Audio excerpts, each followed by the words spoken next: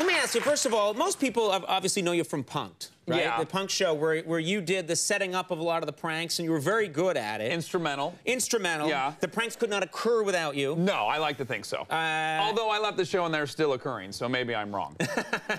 Ignore that. Yeah. Yeah, okay. Um, I'm I don't cu- believe in proof or the scientific method. I just kind of wing things and I work on my gut instincts. Good, good, and it's working for you. That's the important thing. Ask me what uh, temperature water boils at. What does water boil at? 100 today. You're just wrong. Oh, okay. So you say. Yeah, so I say. Uh, let me ask you, if people know you from Punk'd, you must be getting asked all the time to do a punked, you know, uh, Yeah, uh, prank for somebody. Yeah, often I will meet someone that'll say, Oh my God, you gotta punk my friend. Right. And I'll go, Oh wow, you're friends with a movie star? And they'll say, No, no, no, she's a waitress. Right. And then I'll say, Well, you've seen the show, it's all celebrities. Right. Unless, is your friend the most famous waitress in the world? Wow. You Or, bastard. A holder of a Guinness Book World Record or Yeah, something? right, right. Uh, but the- a weird one that happened is I was in uh, Vegas for a fight, and I was leaving the fight, and I was in the hallway, and Mike Tyson came up to me and said, um, I want to punk somebody. I do a horrible Mike Tyson, but anyways, bear with me.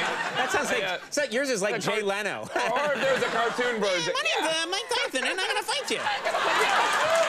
Um, so he says, um, I want to punk somebody. And I go, Well, you're Mike Tyson. You can do whatever you'd like. Yeah. And he said, But I want to do it with you. You're really funny.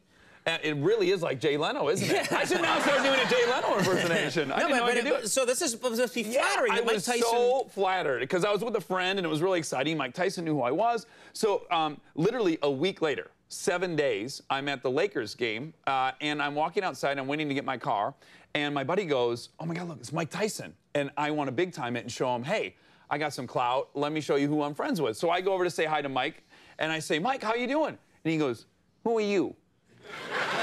this is a week later. So Yeah. I think, oh, he's showing me how believable he is when he Right. go- does punk. So I go, wow, that was really believable, Mike. And he goes, get on my face or I'll break your head open. and then I realized he wasn't. Somehow in seven days, he went from being a fan of mine to not even knowing who I was. Yeah. Like he must have watched an episode of Punk in the hotel room minutes before the fight. and then in that week, some things happen. Some stuff just happened. gone. Gone. It's Yeah, he's constantly cleaning his hard drive. So he's just dumping things in the trash. He's like, I was the boxer once, really? Yeah, no, I wasn't. I'd be very curious to even hear his punked prank. Like, what? It probably just involves like, let's ring that guy's doorbell and then punch his face Yeah, in. yeah. So I'm gonna tap him on the shoulder Yeah. and then knock him out forever. yeah. And then he'll be dead, and we'll say you punked. yeah. It'll, we'll, we'll film it at the funeral. It'll be funny. Now, you mentioned you go to Vegas. You, you like to go to Vegas a lot. Do you get the thing I've noticed about Las Vegas is you know there's so many people around that it, that you must get hassled. Like if you're going to get recognized anywhere, it's going to be in Vegas where Yeah. everyone's walking around. They got a camera. Do you get bothered a lot? Well, um, I had a really strange uh, thing that happened uh, a couple weeks ago. Actually, was in Vegas, and um, I was trying to find a friend inside the casino. So I was on my cell phone, like walking around the casino, a little bit lost. And then that's all that happened. That's the entire story. Right. And then the next night, I'm playing blackjack, and this girl comes up to me and she goes, "Wow, I heard what happened last night." And I go, "What happened last night?" She goes, "Well, you got you were trying to get in the nightclub, and they wouldn't let you in because you were wearing flip flops, and then the bouncer pushed you."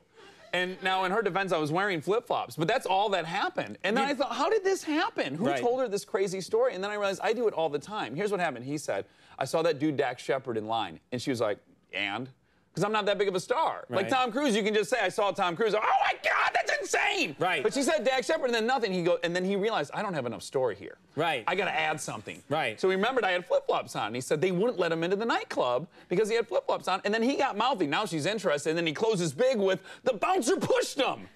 That's what happened. Right. They keep adding stuff. Right. Like I might say to you, because I realize I do this all the time. Like I might say to you, I saw a Ferrari Enzo today. Right. And you're not that into cars. Right. So you'd be like, so? Right. And then, I, then I'd have to start improving. I'd go, there was an eight-year-old driving.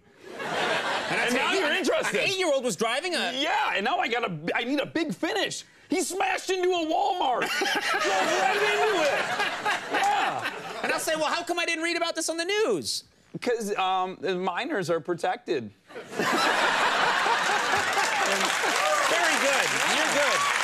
That's In Walmart, they don't want pan- they don't want shoppers to panic at Walmart. exactly. Walmart papered the whole thing Yeah, over. Ferrari doesn't want you to think you can lose control of your car.